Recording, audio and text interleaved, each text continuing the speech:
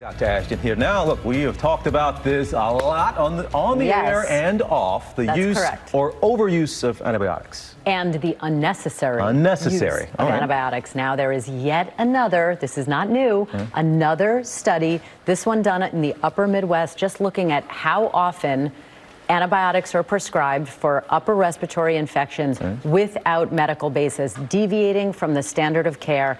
The answer is a lot. Okay, and it is a problem more often in primary care settings, in rural areas where the patient population is older, where the volume in that setting, that clinic, that office is high volume. Guess what?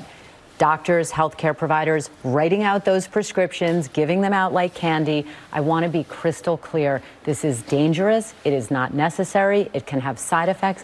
And what I get on you all the time, and my own patients, by the way, it is so easy when you get a sore throat, you have a cough that maybe lasts for two days or three days, or you feel some ear pain, go running for that antibiotic. Most of the time, the cause for those things is viral.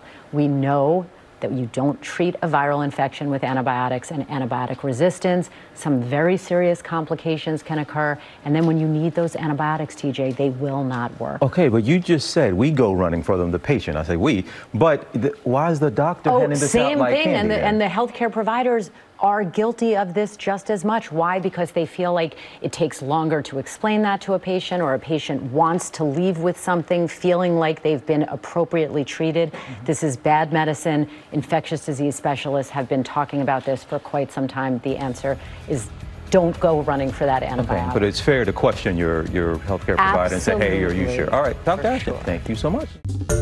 Well, hey there, GMA fans. Robin Roberts here. Thanks for checking out our YouTube channel. Lots of great stuff here. So go on, click the subscribe button right over right over here to get more of awesome videos and content from GMA every day, anytime. We thank you for watching, and we'll see you in the morning on GMA.